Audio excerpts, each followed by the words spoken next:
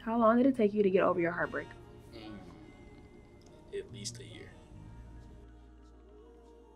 Did your outlooks on relationships change? Definitely. How? Um, I just it was really hard for me to start trusting females again. All right, so what's your name? Uh, my name is William, William Lassiter. Okay, okay. How old are you, William? Right now, I'm 24. I'll be 25 in March. It's like six months away. That's nice, man. That's nice. Yeah, bro. In school? You finished school? Graduate of Campbell University. I work at Duke University right now, so I'm doing pretty good, bro. That's nice, man. That's nice. That's actually really nice. So, why are we here? Like, Um, we here to talk about me. Like, this thing right here is gonna get stupid crazy. Like, in the next like 10, 15 minutes, you're gonna be like, what? really? Yeah, bro. What about you? It's like the three past girlfriends I've had and their impact on me and the music I choose to listen to. So, told me about the three girls, the three phases. Who What are they? Um, I'm not gonna use no names, but I, I'm gonna say one's name is anger, one's name is growth, and the last one's name is self love. Self-love is the best love. So, William, is the worst drug. you dropped part one, anger. Yeah, You dropped part two, growth. Yeah. So, how was the feedback and reviews for that? Um, it was good. I, you know, there's always gonna be negative feedback. Cause like, dang, you out here bashing women, generalizing women. I said, I'm not. I'm telling a story that people already know from my perspective. So there's a difference between my side, their side, and the truth. So this is just my perspective. It's my truth. Right. So, we already recorded, you know, part three, self love. Right. and like two weeks ago, and now we're here again for part three again. Yeah, man. Uh, I didn't like the first the first one. I feel like I sold I sold myself short. Explain. Um, perfection, no such thing as it. Closest thing to perfection we can get to is excellence. So that's what I'm on with excellence. That was that was less than excellence. So tell us about you know part three. Tell us about self love. Self love, bro. That's that's the most important.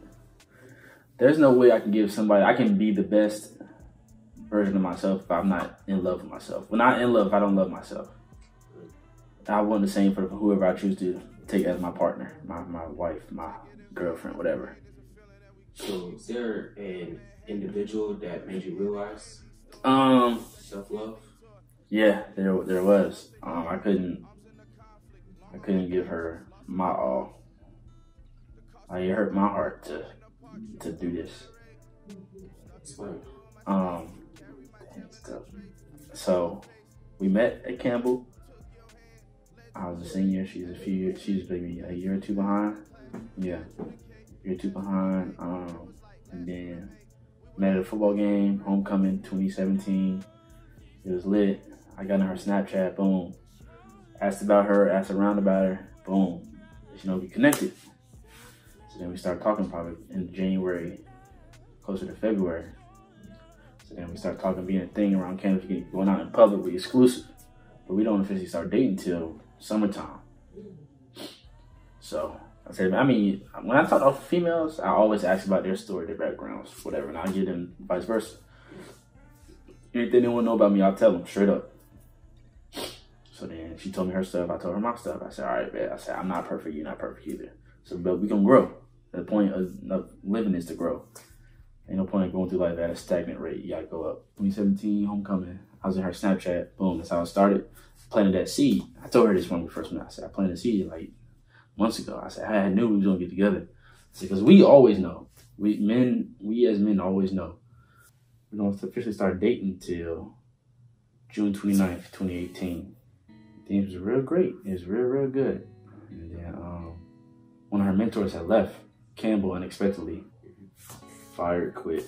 It's, it's up for discussion. But anyway, so then she stuck. That's a that's a shocker. That's like one of them jabs to your heart you don't expect. Mhm. But she lit up to this dude. Although, in my opinion, I, I tried to tell her from John, said, I said, you don't need someone to tell you how great you are. You are as great as you want to be.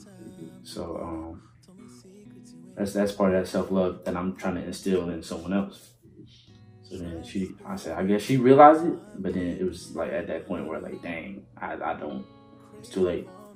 So then he was telling her to go to all these places because she was gonna follow him to the school she was at. Said, which is cool because it's not my not my relationship, not my like with that dude. It's not my relationship. So then, um,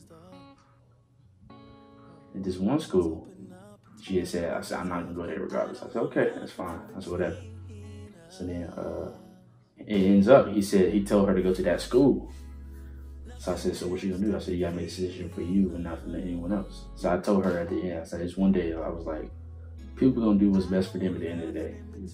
Like, even if they tell you to do something, it's gonna be in the best of them. So, so that's how you gotta move, that's how you gotta think. So then, um, she went to that school, but when she gets there, he's nowhere to be found. So now she's stuck. So like she's stuck. She don't know nobody there. She basically just took a risk. Now she out on the limb, just chilling. So I say, dang. I said, so now we here. Now it's a long distance relationship. So like, were you ready for the challenges of a long distance relationship? I mean, I did long distance before, but like that's when things started. Like, I believe I'm, I'm so I was so I don't, want to say damaged, but I was like cracked. I, I refuse to say I'm damaged. Um, I was I was cracked from the past. I like, man, I said long distance is what causes all this and this and this. Then my trust issues started kicking in. I said, dang. I said she don't do this, this, and this. I said, this that's just stuff I had to deal with by myself. I said, I, I said, man, but she she won't do nothing. Like I believe a lot of the things that would happen in a relationship, it was because of me. Like that, this was like tough. it's crazy. It's I- crazy. Um, yeah. Um, how do we manage ourselves? Well, like, I guess the argument started. Like, I had a feeling, like when she left, I said, "This is the guy." I, helped her move in. Well, I, supposedly, she moved in the day after than when she was supposed to. Right. There's a whole, a whole bunch of chaos. So I helped her move in, and then um, just a whole bunch of random stuff that just kept happening, like bad arguments.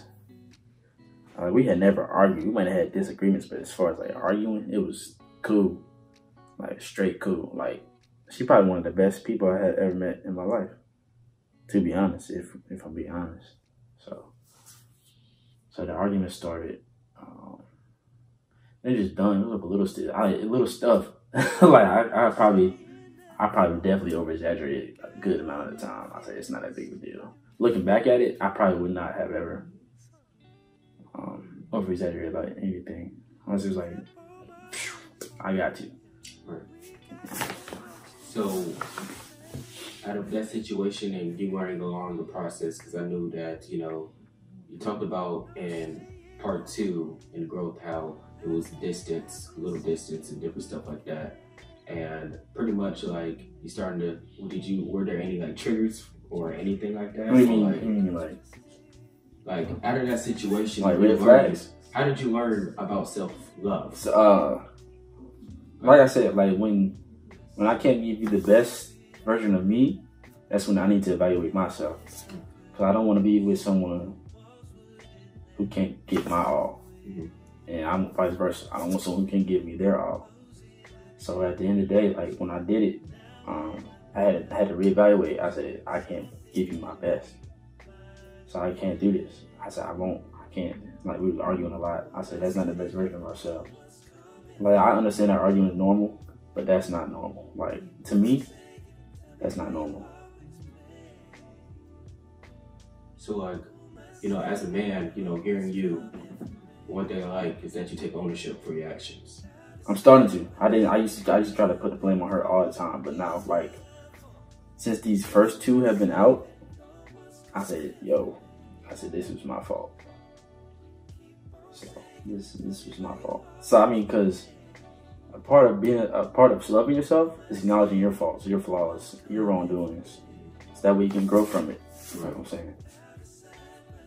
Have you talked to that individual recently? We still talk. We talk every day. Um, we communicate every day. We friends until you know we just friends right now. Chilling. I'm I'm there for her support. She there for my support. So like all the stuff from you learning about, you know, self love and taking ownership and as you reflect and evaluate yourself and the situation and you know the relationship and her, would you do it again? Um, if I know for sure that I can give her the best version of myself and vice versa, and we can continuously pour into each other. I mean, like, like being equally yoked. I would, I would do it again. But until then, we just we best off as friends slash support system. So in closing, from anger, growth, and self love, talk about, you know, what's the point of this documentary? What do you want people to know about you? Um. Well, the, the original, like, at first it was for my portfolio. Like, this is just content for me to use. I said, why not? The best content is about you, right? Right. But now, like, looking back at it, I say, this is probably, like, the best way of types of closure. Like, um, I thank all three of these women because it did teach me something. Like, clearly everyone's not perfect. I'm not gonna be ever be perfect. I don't want anyone perfect. That's not realistic. So, um, me as a man, because we as men, like the population of men, we have troubles with expressing ourselves. So, like, I, I want to hope that I hope this is like a, a fuse. Like, I want people to like hit me up, like, dang, that was really dope. Help me get out my feelings. Help me do this, this, and this. I said, I just wanted to start something. So um, what are you doing better with now than you were struggling with then in the past? Um, I'm constantly just working on myself. I want to be the best version of myself for anybody. Let, let it be work, basketball, anything. Be a 2K. I want to be the best version at that anything. Like ain't nobody beat me. So um, yeah. And then honest, honestly, the the biggest thing I would say is like I'm listening to myself. Like, cause I'll tell I'll tell y'all my friends. I tell I'll give I'll give y'all some great advice, but I won't realize what I said until like two weeks later. I'm like, dang, I said that. Because like y'all will remind me, say, remember you said this, this, and this? I said, I don't, but okay. So then my mom was telling me, she said, listen to yourself, because your inner ear is your biggest way of growing towards a deeper understanding. So that's what I'm constantly doing nowadays, or listening to myself, listening to what I need to tell me. Is there any more documentaries on the way coming? that I don't know. I'm gonna have to go through some like four more heartbreaks then. you know what I'm saying? But hey, bro, I thank you because you are my brother. Because you you we one and the same, bro. Always.